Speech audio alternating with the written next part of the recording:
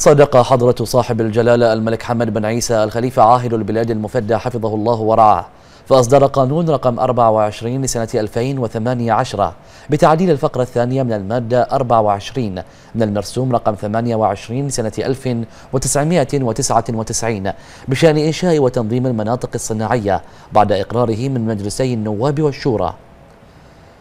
كما صدق حضرة صاحب الجلالة الملك حمد بن عيسى الخليفة ملك البلاد المفدى حفظه الله ورعاه. فأصدر قانون رقم 25 لسنة 2018 بتعديل المادة الثالثة من المرسوم بقانون رقم 14 لسنة 2002 بشأن مباشرة الحقوق السياسية.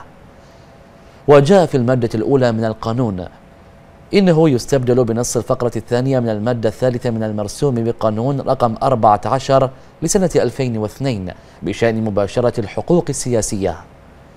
ويمنع من الترشيح لمجلس النواب كل من المحكوم عليه بعقوبة جناية حتى وإن صدر بشأنه عفو خاص عن العقوبة أو رد إليه اعتباره. المحكوم عليه بعقوبة الحبس في الجرائم العمدية لمدة تزيد على ستة أشهر حتى وإن صدر بشأنه عفو خاص عن العقوبة. قيادات وأعضاء الجمعيات السياسية الفعليين المنحلة بحكم نهائي لارتكابها مخالفة جسيمة لأحكام دستور المملكة أو أي قانون من قوانينها.